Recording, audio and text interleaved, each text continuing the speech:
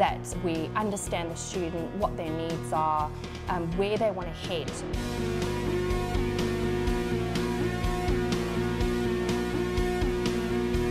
I think GoTAFE um, has the facilities, has remarkable um, teachers that are also still industry current, and I think that's really important. The teachers very nice, uh, friendly, warmly. I like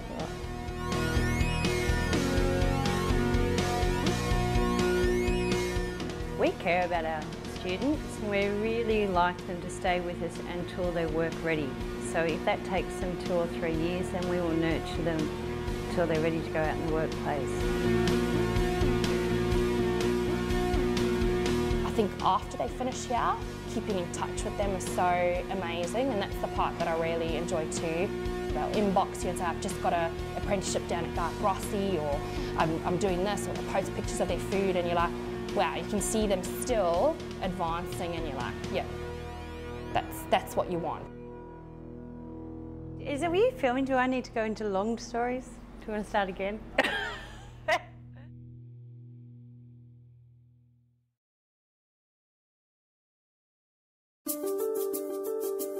As a migrant myself, I'm very passionate because I think people need a helping hand to start out. Someone needs to provide the information of what opportunities are available and how they can achieve their dreams. And I'm happy to be in Australia because it's a multicultural country and they accept all the cultures.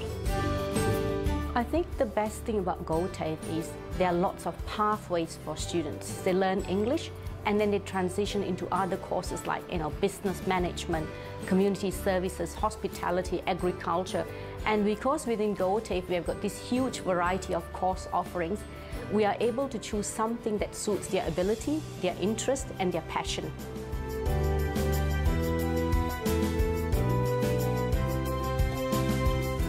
I learned a lot of things, but the most thing, mm, the teachers are teaching us how to be in touch with other people.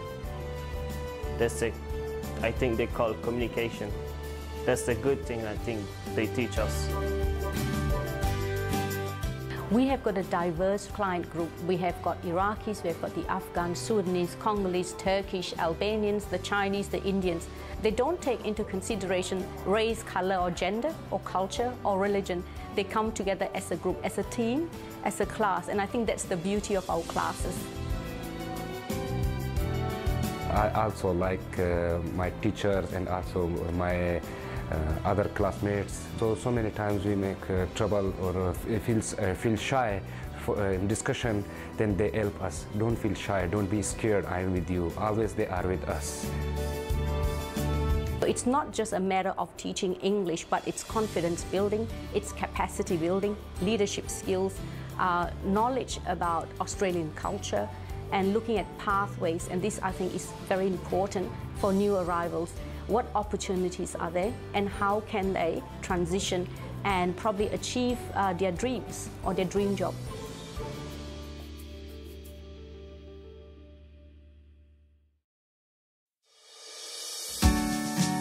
You're doing things you love doing, you're outside all the time, you're looking after animals, which is probably the best part about it. And you get to look after these probably beautiful creatures. Like, I, I've always loved it. The National Centre for Dairy Education is a unique partnership. The dairy industry took ownership of wanting to develop, educate and progress their own farmers. And what it is is a national learning and development system working closely between GoTAFE Dairy Australia and the industry to have a consistent product right across the country. We're charged with delivering all the things that you need to know how to run or how to manage a dairy farm in Australia. So any student that receives an NCDA certificate, no matter where they are, has met a set of industry key standards.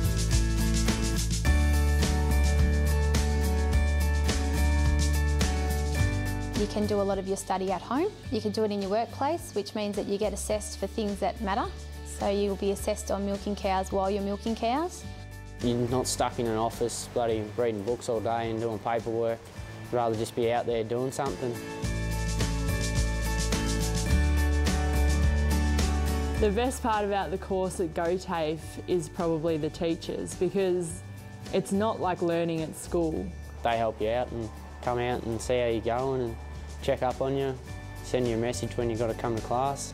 They're not trying to force you into learning a certain way that someone else learns. Like if you're a learner that learns by doing things, then we'll go out and do things. You're not stuck in a classroom all the time.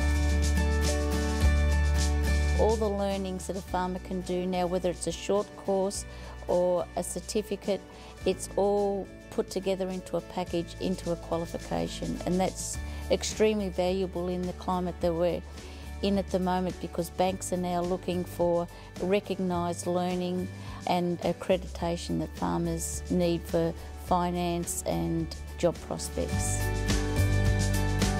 Dairy farmers are aware now that for them to have employees that are going to help them run and maintain and, and be safe and be profitable and be sustainable, that their students need to take some first class education. And it's aligned very strongly with industry, which means that what you're learning is very, very relevant and is up to date and current with what's actually happening on farm. We use a blended delivery model where people can be in the classroom if they are able to be in the classroom, but we beam the, the class out to those in more remote, remote areas. They've even got it on their phones now, so I was talking to a student who's, who's actually contributing to a forum on our online learning platform while she's getting the cows in. We've set up the farm career pathway and one great thing about that is that farmers can look at that and work out what they need to know for their own development and for their farm's development and they can choose what they want to study, when they want to study, how they want to study. We are not the font of all knowledge, we're facilitators. We take dairy resources that have been industry validated, they're world's best practice, and then we present them to these people, being respectful that each of their owners, fathers, mums, dads, employers will run their business in their own particular way. You know, the thing that I love is that every student who comes to class will bring something new or different into the classroom. It's a program that I learnt down at GoTAFE. In the last two years we've managed to increase individual cow production by about 15%. Like because I'm from a background of dairy farming, I knew the basics, but I didn't know in depth about animals as much as I could. I love it and I love the lifestyle. I get to rule over this sort of little empire of my own, so it's great. I love it.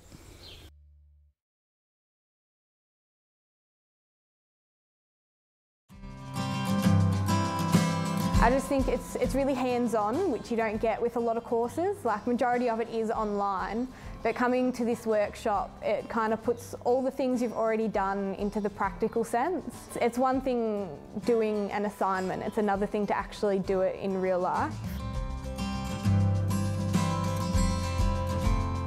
When they come to us, what we work on is building on that passion, but building also the knowledge to go with it so that they can take that knowledge and develop their skills and then work in industry. So a lot of students come into the course and they already have a horse, so they, they think that they know a lot about horses and some of them have certainly grown up with, with horses. But what we give them is an industry perspective. There's an awful lot they don't know and they haven't taken that step to professionalise their passion.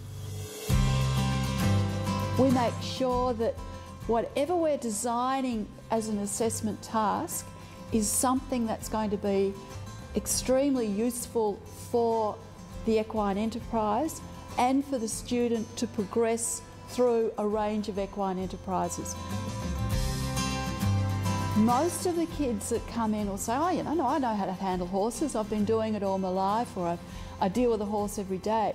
What they haven't done is walked into a stable where there are 20 unknown horses and they have to manage those, they have to lead them out, they have to rug them, and they have to uh, detect what sort of temperament that horse has, what behaviour it's displaying today, and be able to respond appropriately. And to know what is safe and what isn't safe. And the biggest risk for those kids is the horse itself.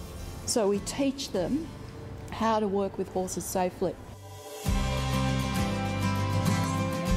I think you just remember it more because if you're in a situation or if you need to remember something, it's okay, oh, did I read this in a textbook? But you can actually remember yourself doing it. It's like, okay, what steps did I go through?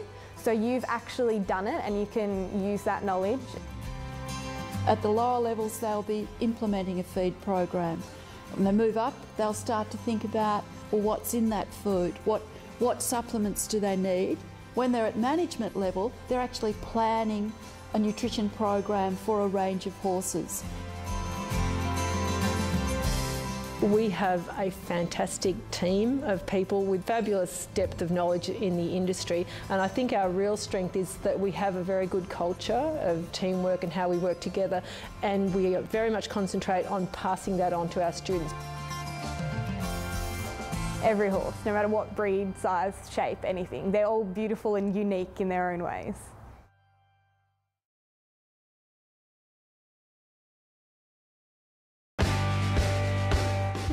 I'm really passionate about teaching and I love seeing people learn and have the enthusiasm for what I like to do.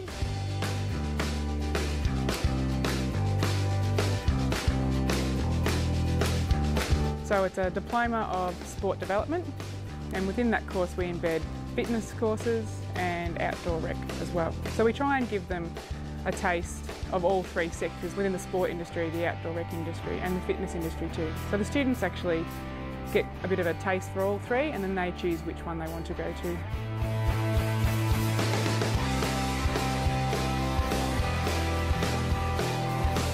I was researching universities and TAFE courses and found Go TAFE it was easy to get to and thought it'd be better than travelling down to Melbourne.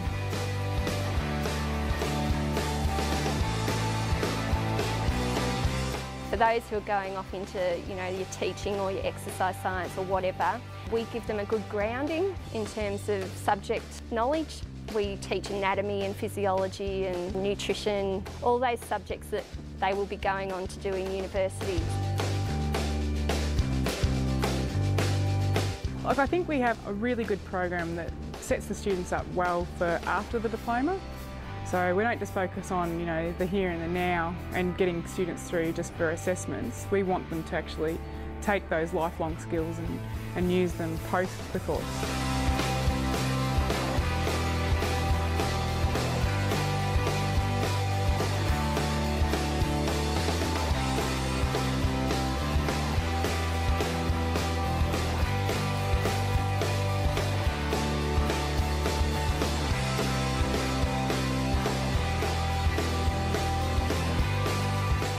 Ever since I was a little girl, I wanted to be a PE teacher. So I've grown up wanting to do something in the sport and rec field. So I feel like I can really relate to how they're feeling in terms of what they want to do with their lives.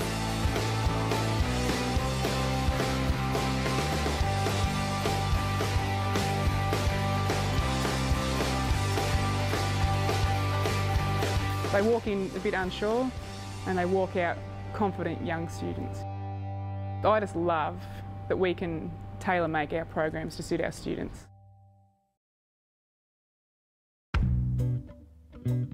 I've always wanted to be a nurse and then I went from being a nurse I wanted to be something more with kids and then when I was about 11 my mum came up with the idea of being a midwife so I think Grace probably heard from other students that had gone through the program about how good it was.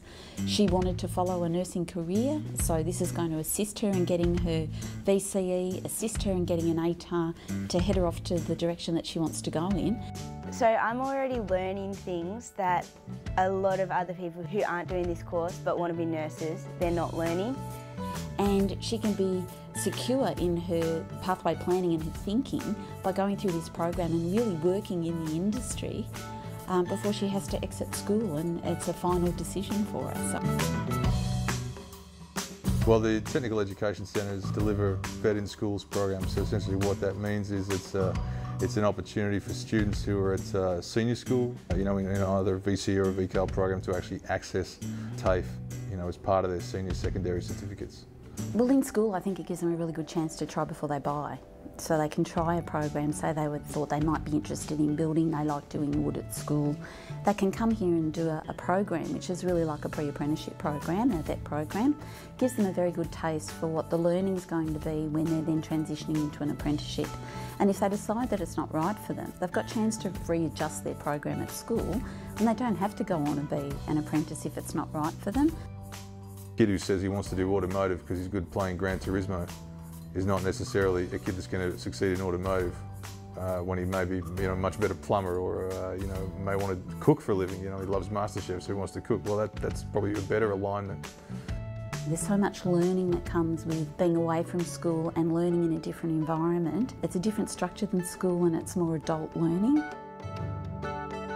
We're a bit different from school in as much as we don't focus if the kid's not great at spelling or math, but if they're ready to have a go, we'll give them a chance.